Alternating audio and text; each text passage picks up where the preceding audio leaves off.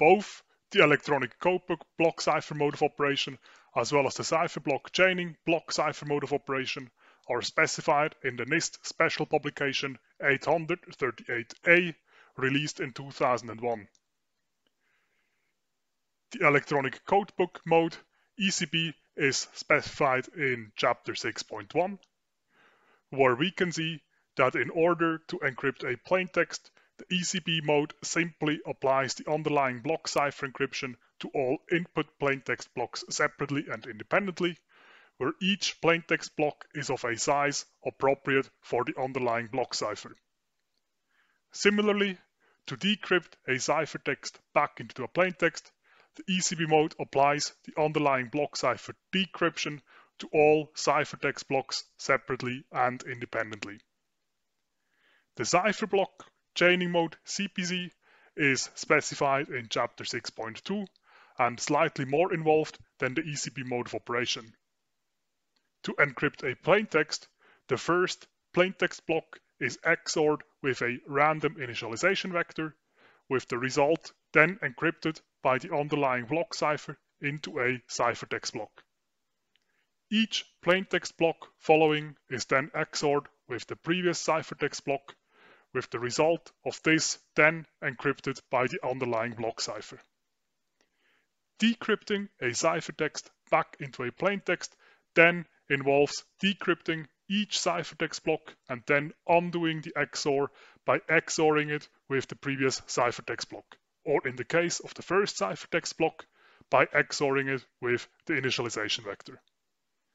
In the demonstration following, you will see how I set out to implement these two modes of operation straight out from this specification by making use of AES as the underlying block cipher verified against the test vectors as given by this specification in its Appendix F. In order to drive the implementation of the two modes ECB and CBC with AES as the underlying block cipher, I made use of the test vectors provided by NIST in Appendix F of the same specification. For the ECB mode, NIST provides a first test vector in chapter F1 on page 24 with the 128-bit AES key provided at the top and a 4 times 128-bit plaintext with a corresponding expected ciphertext provided underneath it.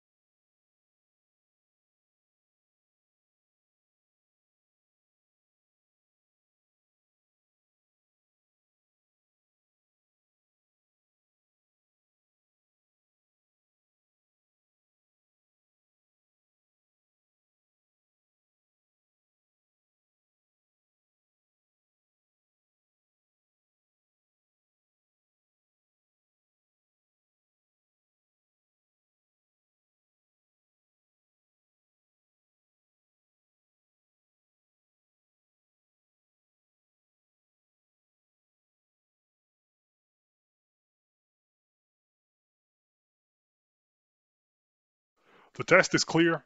The ECB encryption implementation, if provided with the plaintext and key, has to calculate the expected ciphertext, and the ECB decryption implementation has to recover the original plaintext if provided with the ciphertext and the key.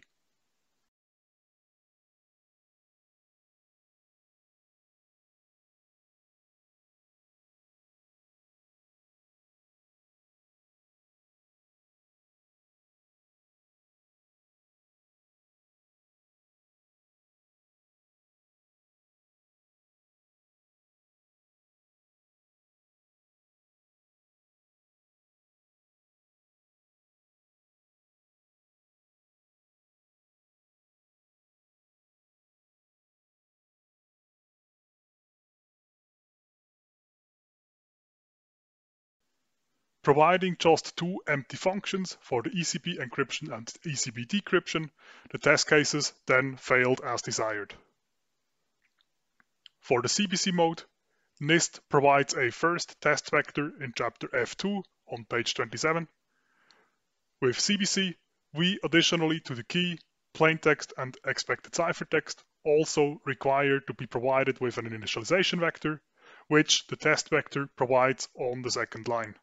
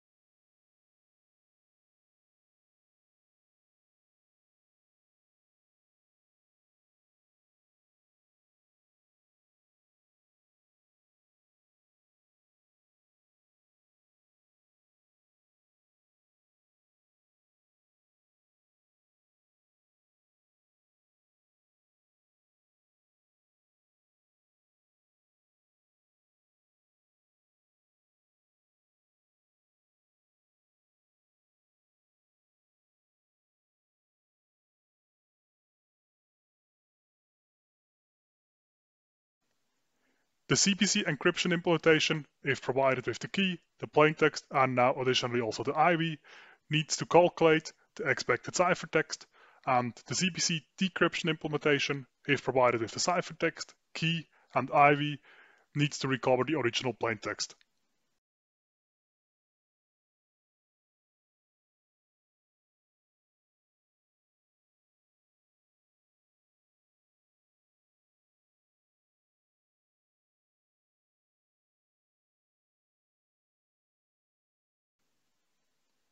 With two empty functions for the CBC encryption and CBC decryption, the program was running with all the test cases failing as desired.